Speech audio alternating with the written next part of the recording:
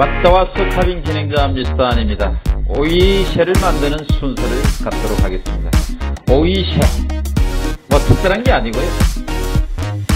오이를 가지고 툭 잘라가지고 날개를 그냥 이쑤시개 붙이듯이 툭 붙이면 되는 겁니다.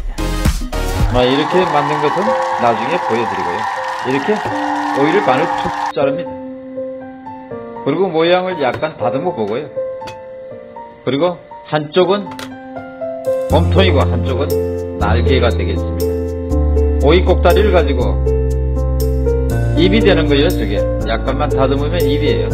특별한 손질을 하는 것이 없습니다. 사실 이게 뭐 오이새냐? 아닐 수도 있어요.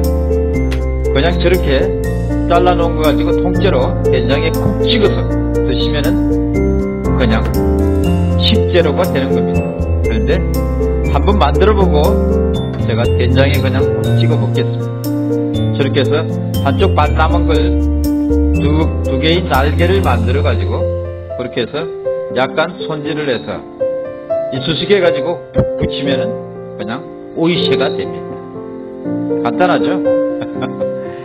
아, 이것을 뭐 카빙이라고 하느냐 이렇게 또 질문을 한다 그러면은 아, 카빙이 특별한 것이냐 또 제가 그렇게 답변을 드릴 수가 있겠습니다. 카빙은 아, 복잡하게 조각을 하는 것도 카빙일 수 있지만 이렇게 간단하게 식재료를 가지고 재미로 해보는 것도 하나의 카빙이다. 이것을 우리는 펀펀 카빙이라고 합니다. 펀펀 카빙이 있느냐? 그냥 제가 지어낸 말입니다. 어려운 건 뭐예요? 좀 간단하죠? 이제 붙이기만 하면 될 겁니다. 그렇게 오래 걸리지도 않습니다, 이것은. 간단히 우리가 식재료를 가지고 5분 안에 만들 수 있는 것들이 아주 많이 있습니다. 앞으로 이런 것들을 좀 많이 해보려고 하고 있습니다. 어디까지나 제가 하는 것은 펑펑 갑니다. 이런 이야기입니다. 펑펑이 뭐냐? 아, 재미있다. 이런 뜻인데, 재미없으면 어떡하냐? 아, 그냥 고추장에, 초장에, 아니면 된장에 찍어 드시면 됩니다. 그뭐 답이 없잖아요. 힘든 세상에 힘들게 살 필요는 없어요. 아주 간단하고 재미있게 사는 것이 즐거움이 아닌가 이런 생각을 하면서 오늘은 오이쉐 펀펀 가빙을 해드리는 겁니다. 이 왔다 왔어에서만 보여드리는 거냐? 꼭 그렇지도 않아요.